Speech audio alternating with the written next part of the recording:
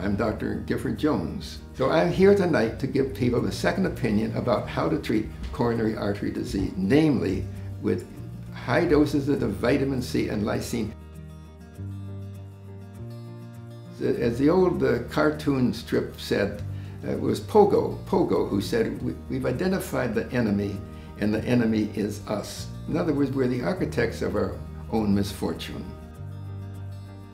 Years ago when I interviewed Linus Pauling, the one thing he told me initially was that animals have always made vitamin C and, and humans don't.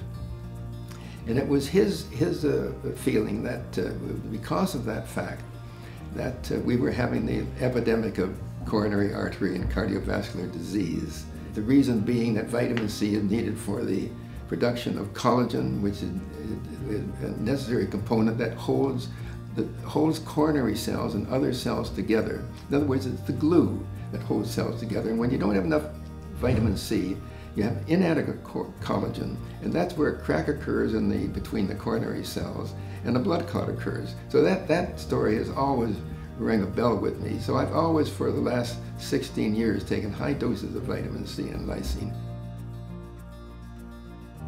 I've developed an interest in natural remedies, particularly vitamin C, and uh, that, that has been my, my primary interest that uh, people are needlessly dying of coronary attacks because they're not, they're not taking enough vitamin C and, and, and lysine. And we now have evidence with a Dr. Bush in England who has shown that if you take these high doses and you take a, a picture of the back part of the eye, the retina, beforehand and after. In other words, you take a picture of the retina one year earlier, and then after they've been on vitamin C and lysine, high doses, you take another photo a year later, you can actually see hardening of the arteries, namely atherosclerosis gradually fading away. And that is a revolutionary, monumental discovery. And it should be the headlines of every newspaper in the world, but isn't.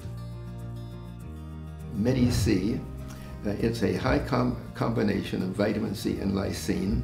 Uh, I take three scoops a day, which means I take 2,000 milligrams each scoop and 1,300 milligrams of, of, uh, of uh, lysine. And I take one of those scoops three times a day, breakfast, lunch, and the evening meal.